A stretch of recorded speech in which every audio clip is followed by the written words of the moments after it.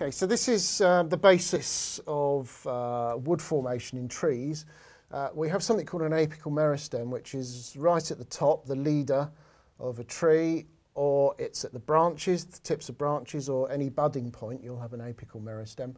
The apical meristem is the place where cells are formed initially, and then we have this differentiation beginning to take place. So the first thing that gets formed is the pith, and this is what's called a procambium and it's really the cambial layer where cell formation and differentiation takes place proper.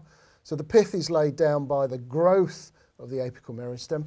Then we have this xylem tissue, which is wood, that's the bit we're interested in.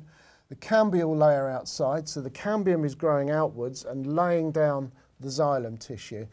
With most uh, woods that we're familiar with in Europe, we'll be looking at um, temperate woods. So we have this growth ring formation, and I'll be showing that in a cartoon, the formation of xylem cells uh, as the tree goes up and grows out. We'll see a tree forming.